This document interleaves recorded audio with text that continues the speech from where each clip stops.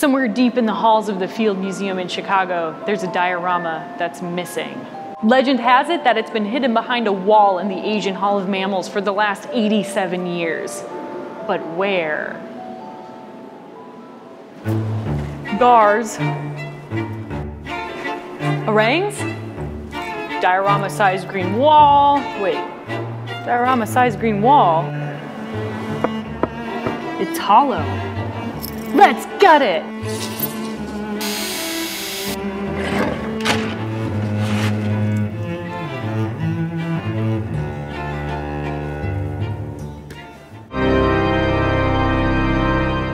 Behold! It's the missing diorama space! But there's something not quite right here. Where's the painted mural? Where's the meticulously created and scientifically accurate habitat? Where are all the taxidermied animals? No, not you soon, raccoon. Wait, how'd you get in here? Could it have been stolen by treasure hunters or lost at the bottom of Lake Michigan in a pirate shipwreck? Maybe there was a diorama-sized rip in the space-time continuum. It's the 1920s. Construction starts on the dioramas in the Asian Hall of Mammals. Tapirs, sloth bears, leopards, gibbons. In total, 20 are planned. Then, the Great Depression. Money runs out. People move on. 19 of the 20 dioramas are finished. The last one is boarded up and left untouched for 87 years. So the way I see it, we've got an empty diorama for the taking. Let's fill it with something. But what?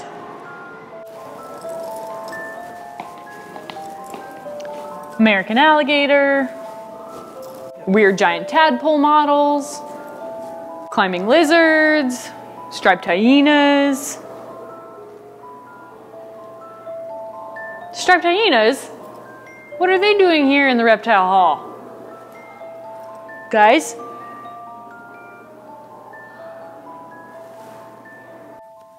Not just any striped hyenas, Carl Akeley striped hyenas. Gadzooks! The year is 1896, and the Field Museum's chief taxidermist, Carl Akeley, pioneer of modern taxidermy, inventor of a motion picture camera, cool friends with President Teddy Roosevelt, accompanies a team to Africa on the world's first American-led museum expedition to Somaliland. In pursuit of animals wild and weird, they specifically search for the endangered African wild ass. These animals were at risk for extinction from a virus that had already wiped out many species of buffaloes, antelope, deer, and giraffes. In order to ensure future generations might study and know these species, the expedition brings back a range of specimens to the United States, including four striped hyenas. Also on this expedition, Akeley famously encounters a leopard, is attacked and nearly eaten by the mighty beast, and ultimately the two battle to the death. Akeley is forced to strangle the leopard with his bare hands, shoving one arm down its throat while the other holds on for dear life. His life, I mean. The leopard dies, obviously.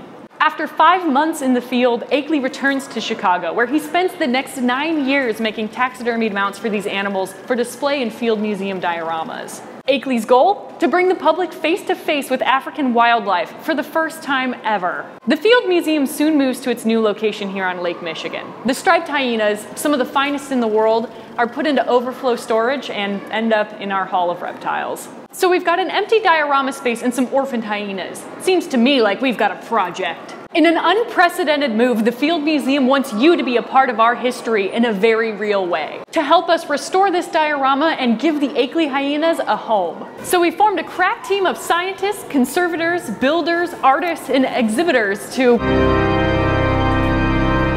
And action! That's a wrap! I'm Michael Paha. I'm working on the Hyena project to uh, move the cases, open up the glass, you know, get in where uh, people need to get in, get things for them, building uh, support for landform, and um, you know, move the case wherever it needs to go. Yeah. Because I'm Mike the Mover. I'm Sarah Crawford, and I'm an exhibit developer. And my job is essentially to talk to uh, curators and get their stories about uh, the hyenas. Why do I like dioramas? Uh, because I remember being a little kid, it felt like when you stood in front of them that you were traveling the world, you know. And I remember coming actually to the Field Museum when I was younger and looking at the dioramas in this hall and feeling that way. Um, you know, like I could just step right into them. The hall that this is going to be installed in has several uh, specimens that were collected by uh, Kermit and Theodore Jr. Roosevelt. And one of my favorite dioramas is at the beginning of the hall with these sheep coming down across an alpine slope. And I can actually feel the winds, the, the chilly winds blowing off the slopes as I'm watching these sheep run down this mountainside. I'm Bill Stanley. I'm the director of the Gantz Family Collection Center and also the collection manager for the collection of mammals. And I'll be advising on the natural history, habitat, distribution of striped hyenas for this diorama. My name is Shelley Paine, and I am the exhibition's conservator. And it's my job to examine the hyenas to see if they need any repair prior to exhibition and to help the team determine the best way to preserve the hyenas while they're in the diorama.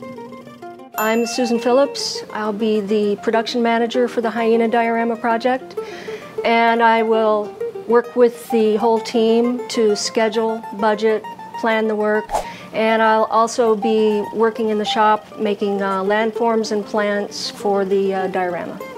I'm gonna paint the mural. Uh, I'm I am gonna rock out the mural, man. I'm Aaron Delehanty and I'm gonna paint the mural.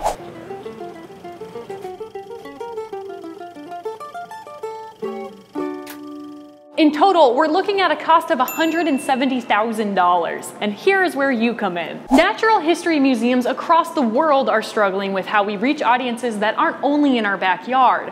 We want to make valuable connections with people from all over the world to prove that our museum is your museum and to allow you to help conserve history with us. So if you can't make it to Chicago next month or next year or in the next 20 years, you could come visit decades from now and along with millions of other visitors enjoy the collective efforts born from fans of the Brain Scoop all over the world. So it's already been 87 years. Why do this now? We've got television, the internet, zoos, touchscreens, and interactive exhibits. Why put the energy behind recreating a century-old art form that is walled off from the world? Number one, since Akeley endeavored on that initial expedition more than a century ago, the geographic ranges of the majority of those species, including the striped hyena, have become increasingly limited. Once abundant across northern Africa and into Central Asia, it's now estimated that the striped hyena's population is around 10,000 adults and decreasing annually. If their population disappears, the field and museums like ours will be the only places anybody will be able to study these creatures, but it won't be possible until we begin conserving these 100-year-old specimens today. Number two,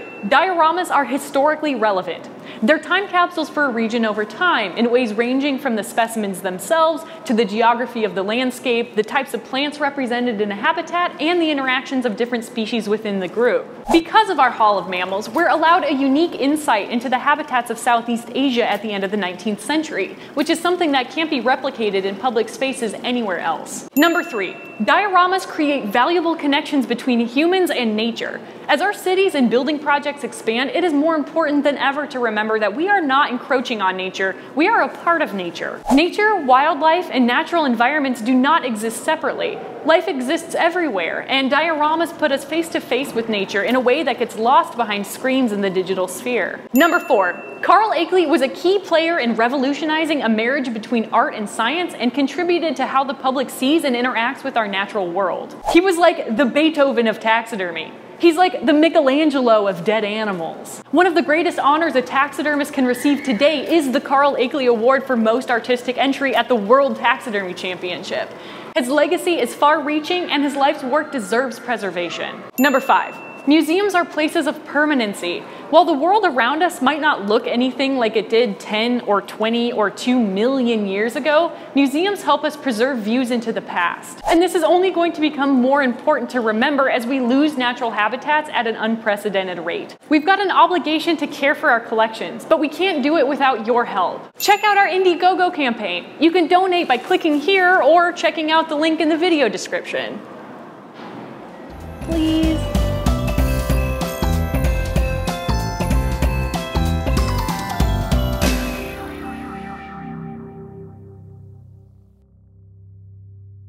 It still has brains on it.